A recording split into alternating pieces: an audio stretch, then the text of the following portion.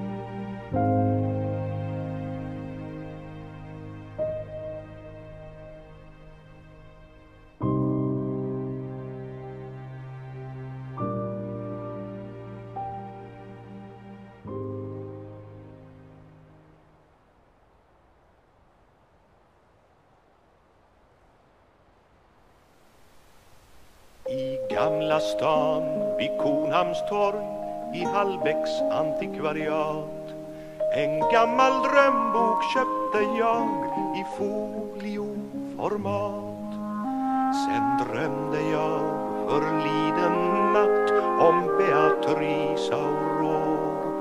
Det är en gammal käresta väl död sen många år hon stod mig när, hon tog min hand, hon manade mig kom. Med ens förstod jag att hon var den enda jag tyckt om. Vi gingo i en lindallé på gula våta blad och tårar sköljde på min kind och jag var ändå glad.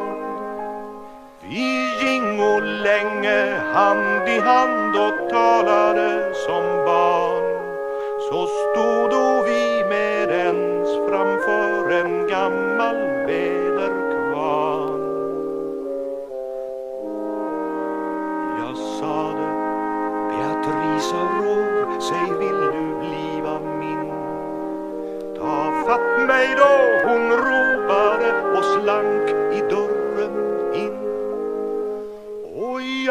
sprang in och letade i alla dunkla vrår och ropade men ingenstans fanns Beatrice Aurore. Jag vaknade vid att jag grät och kände hjärtats sting och i min drömbok sökte jag stod ingen